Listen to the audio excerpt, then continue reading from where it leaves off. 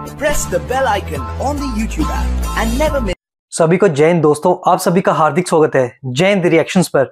आशा करता हूँ कि आप सभी लोग बहुत अच्छे होंगे। तो आज हम आपके लिए एक लेटेस्ट एक इंटरेस्टिंग और एक धमाकेदार वीडियो लेकर आए हैं, जिसमें आप देखेंगे कि असम के मुख्यमंत्री हेमंता बिश्व शर्मा जी ने जो कानून लाया है, उसे सुनकर जो जिहादी हैं, जो मज़हब के ठेकेदार हैं, ओवेसी जैसे उनको काफ़ी ज़्यादा तकलीफ़ हुई है और वो उछलने और मचलने लगे हैं। तो इसी मुद्दे पे आप देखेंगे, भारत की बेटी और सुप्रीम कोर्ट की सीनियर वकील नाजे इलाई खान जी का दबंग रिएक्शन तो ये वीडियो काफ़ी इंटरेस्टिंग होगी, आपको बहुत कुछ जानने को मिलेगा। तो इसे अंत तक देखें और चैनल पे नए हैं तो चैनल को सब्सक्राइब कर दें ताकि हम अपनी लेटेस्ट इंफॉर्मेटिव और इंटरेस्टिंग वीडियोस लाते रहें।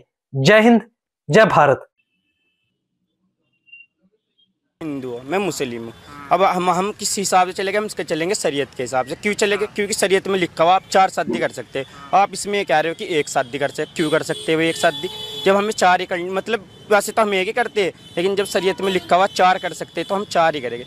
हम मान लो एक बीवी, अब उससे शादी होगी। अब एक को अच्छी नहीं लग रही, अब दूसरी मतलब मान लो रेडी है कि वो दूसरी शादी तो हम क्यों नहीं कर सकते भी शादी हमारी हमारी मर्ज़ी होगी, इसमें सारे होगी। अब इसमें ये भी दो बच्चे दो बच्चे क्या है तो कहीं हाथ में थोड़ा ही, वो तो अल्लाह के हाथ में जितने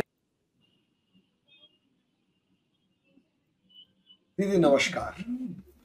ये दो वीडियो हमने अभी सबको दिखाए। एक यूरोपियन सोसाइटी के अंदर से किसी का है और दूसरा इंडियन सोसाइटी के एक लड़के का है। माइंडसेट दोनों का अप्रोक्सीमेट सेम है।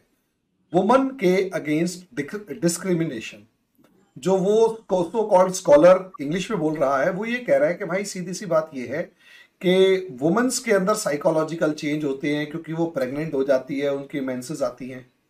और यहाँ ये कह रहा है यार मेरी मर्ज़ी होगी मैं चार करूँगा। तू कौन होता है डिसाइड करने वाला? तू एक कर मैं तो चार करूँगा।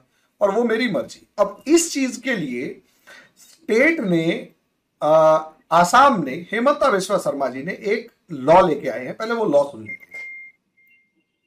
मैं साइल मैरिज नहीं होने दूँगा जब तक मैं ज़िंदा हूँ।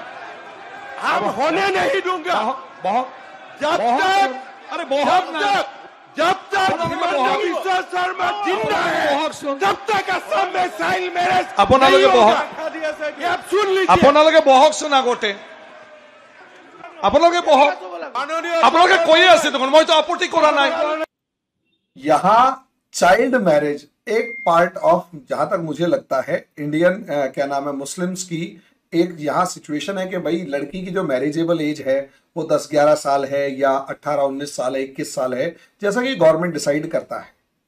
अब ये चीज़ हम यहाँ पर देख पा रहे हैं कि कहीं ना कहीं एक इनिशिएटिव लिया गया है कि वुमन या लड़कियों की जो मैरिजेबल एज है, वो हम बढ़ा के 18 21 साल करेंगे। इस चीज़ में ऑब्जेक्शन है और वो जो दो ऑब्जेक्शन एक आसाम के मुस्लिम्स जो मिमियाते हुए दिखाई दे रहे हैं, दीदी, और दूसरी तरफ़ ओवैसी। जो खुलकर क्रिटिसाइज करता हुआ नज़र आ रहा है। एक बार ओवैसी को सुन लेते हैं एंड आई थिंक वो ज़्यादा इंपॉर्टेंट है, क्योंकि इसका जो बयान है, और मुझे लगता है आप उसको जवाब देने के लिए फिट इंतज़ार भी कर रहे होंगे।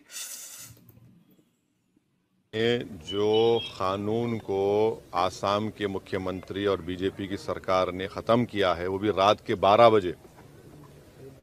रात के 12 बजे वो कानून ख़त्म करे जो नव्वद साल पुराना कानून है। उस कानून के तहत आसाम के मुसलमानों की शादी वहाँ के रजिस्ट्रार या खाजी के तहत होती थी और उसके बाद उनको निकाहनामा का सर्टिफिकेट मिलता था।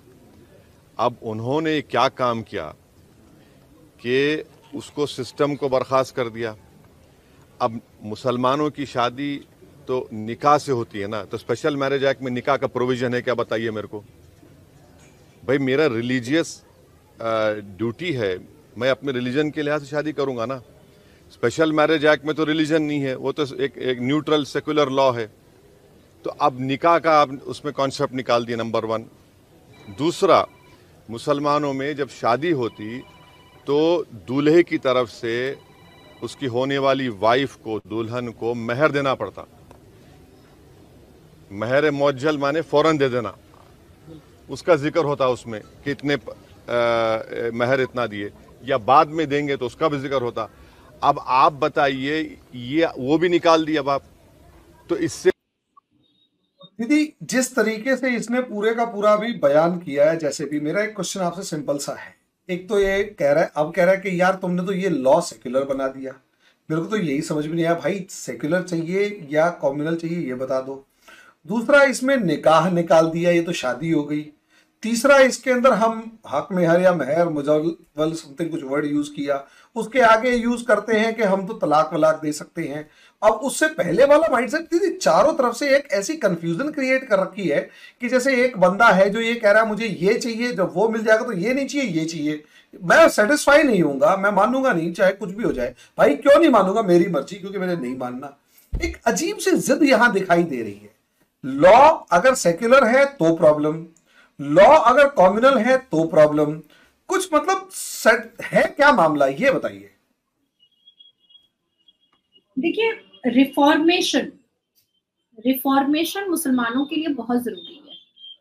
क्योंकि मुसलमान अपने जिद की वजह से शिक्षा में पीछे हैं और अपने हर एक जब जब उनको बहुत आगे रहना चाहिए, चलना चाहिए, उन सब चीज़ों में पीछे है। या यूँ कह सकते हैं कि मुसलमानों ने अपनी ज़िंदगी को तबाह बर्बाद कर दिया है अपने इस्लामिक चीज़ों को फॉलो करने के चक्कर में।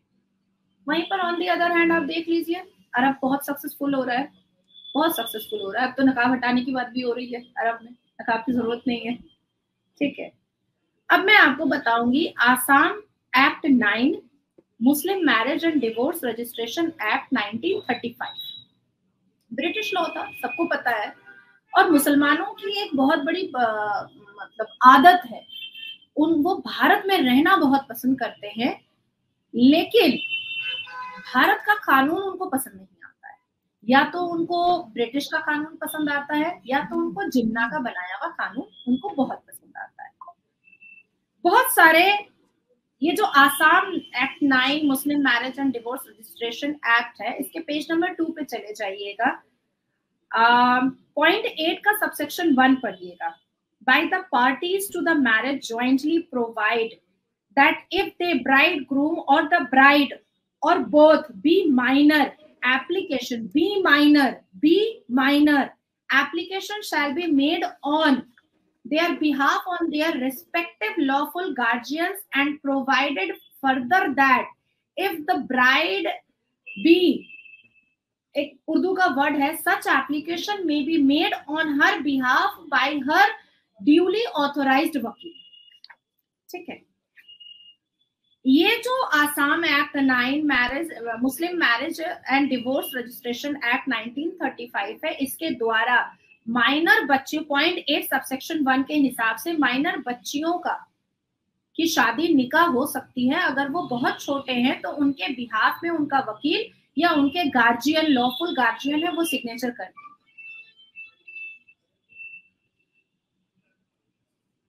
हेमंता बिस्वा मतलब... शर्मा जी जब विधानसभा के अंदर चिल्ला रहे थे कि बाल विवाह हम नहीं होने देंगे जब तक हेमंता बिस्वा शर्मा ज़िंदा है तब तक वो बाल विवाह नहीं होने देगा। तो मुसलमान के जितने भी झुंड थे वो परेशान हो गए कि अब छोटी छोटी बच्चियों से सेक्सुअल मज़ा लेंगे अब ऐसी का परेशान होना लाजमी है। मैं मानती हूँ कि उसका परेशान होना लाजमी है। हालाँकि उसने अपनी बेटियों की शादी पीरियड्स के बाद नहीं की है। कुछ बेटियाँ तो उसकी बत्तीस बत्तीस साल की हो गई है, पर शादी नहीं की है। लेकिन मुसलमान लड़कियों की शादी, उसके घर के बाहर जितनी मुसलमान लड़कियाँ हैं, उसकी शादी माइनर एज में हो जाए। इसके लिए वो बहुत परेशान है। मुसलमान बेटियाँ, इंजीनियर, डॉक्टर, जज बने, इसके लिए वो बिल्कुल परेशान नहीं है। अवेसी और ये मुल्लाओं के झुंड। लेकिन मुसलमान बेटियों के सलवार में झांकने की ज़िम्मेदारी मुसलमान मुल्लाओं को बहुत ज़्यादा है कि जैसे ही प्यूबर्टी होगी पीरियड्स होगा और वैसे ही उसका निकाह हो जाना चाहिए।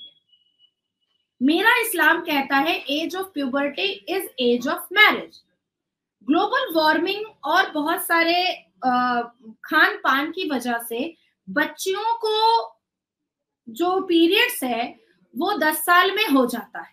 दस साल में हो जाता है, दस, सवा दस, साढ़े दस, ग्यारह पहुँचते पहुँचते तक हो जाता है। तो इस्लाम के अनुसार और Assam act nine, Muslim marriage and divorce registration act point eight, subsection one के हिसाब से उस दस साल, सवा दस साल, साढ़े दस साल, ग्यारह साल की बच्ची का निकाह हो जाना चाहिए। अब जब वो बच्ची 22 साल की होगी तो उसका बच्चा 10 साल 11 साल का हो जाएगा।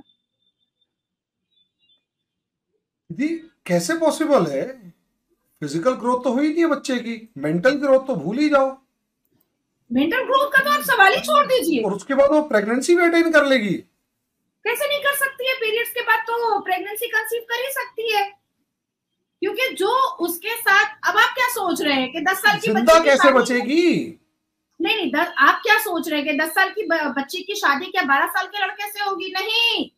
दस साल या ग्यारह साल की बच्ची की शादी तीस साल बत्तीस साल पैंतीस साल के मर्द से होती है। तो मर्द का जो आर्टिकल होता है वो तो वर्क कर रहा होता है और बच्ची की जब मेंसुरेशन फ़र्स्ट फ़र्स्ट होती है तो वो तो काफ़ी एक्टिव होती है तो बच्चा कंसीव तो तुरंत हो जाएगा। आप आप मेडिकल तरीके से सोचिए तो तुरंत बच्चा कंसीव कर लेगी वो। क्योंकि मर्द मच्योर है, बच्ची का दस साल, ग्यारह साल की बच्ची का पीरियड्स का बिल्कुल स्टार्टिंग है ब्लड फ्रेश है तो वो तो बच्चा कंसीव करेगी ही। आप मच्योरिटी छोड़ दीजिए और आप फ़िज़िकल ग्रोथ भी छोड़ दीजिए। लफ्ज है कि पीरियड्स स्टार्ट होना है, जिससे बच्चा होना स्टार्ट हो जाए। और वाकई में पीरियड्स स्टार्ट हो जाता है तो बच्चा हो कंसीव हो ही जाता है। दोस्तों, आशा करता हूँ कि वीडियो को आपने अंत तक देखा होगा और हमेशा की तरह नाजिया लाई खान जी का दमदार और बेबाक रिएक्शन आपको काफ़ी पसंद आया होगा और इसमें आपको बहुत कुछ जानने को मिला होगा, जहाँ पे नाजिया खान जी ने आपको फैक्ट्स और फिगर्स के साथ इस कानून के बारे में बताया, बहुत सारी नई चीज़ें हमें समझाई और आपने देखा कि क्यों ये जो जिहादी हैं, ये जो शांति दूत हैं और ओवैसी जैसे जो मज़हब के ठेकेदार हैं, इनको इतनी ज़्यादा तकलीफ़ क्यों हो रही है इस नए कानून से? बाकी नाजिया जी ने एक बड़ी महत्वपूर्ण बात की कि शांति दूत भारत में तो रहना चाहते हैं, पर भारत के कानून को नहीं मानना चाहते। तो इसके बारे में आपके क्या विचार हैं? आप अपने विचार हमें कमेंट सेक्शन में लिखकर ज़रूर बताएँ और एक बार फिर चैनल पर नए हैं तो चैनल को सब्सक्राइब कर दें ताकि हम अपनी लेटेस्ट, इंटरेस्टिंग और इन्फॉर्मेटिव वीडियोस लाते रहें। और वीडियो अगर पसंद आई है तो इसे लाइक और शेयर ज़रूर कर दें। तो चलिए फिर मिलेंगे ऐसी किसी दमदार और मज़ेदार वीडियो में। तब तक अपना ध्यान रखिए। जय हिंद, जय भारत।